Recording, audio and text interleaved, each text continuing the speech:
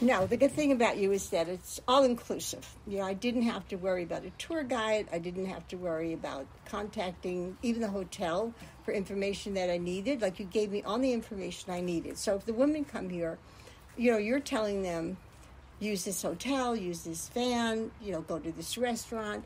So everything is taken care of, but they're still on their own.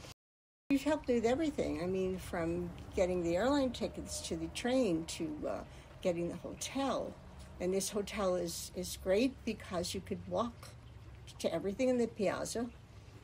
And um, it's a little confusing at first, but it doesn't take too much time before you're able to maneuver all the little streets. The shops are really nice. Um, I think that um, there would, just wasn't any question I had that you couldn't answer for me. And and like I said, it was all inclusive. I didn't have to go to a lot of different people. I could just come to you and you could coach me, and then I was okay. And that is invaluable, I think, anyhow.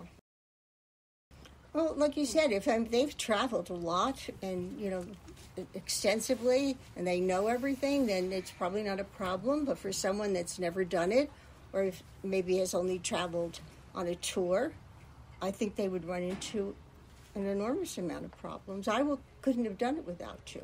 I wouldn't be here if it weren't for you. Um, I could not navigate this by myself. Mm-hmm. Um, is there anything that you can think of where, I don't know, where else I might have added value? Your personality, you're, you're just so there. You're so sincere. You're so helpful.